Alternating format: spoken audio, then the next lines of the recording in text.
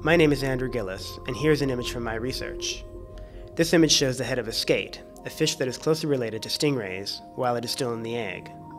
These animals, along with sharks, belong to a group called the cartilaginous fishes, who build their skeletons entirely out of cartilage, the same soft, flexible tissue which makes the skeleton of our ears. In the center of the image, you can see the embryo's eyes and gills, and on the sides of the image, you can see the large wing-like fins that wrap around the head. Although these fishes have no bone, they do have hard scales called denticles, which are a focus of my research. These are the red marks, which you can see scattered over the whole head.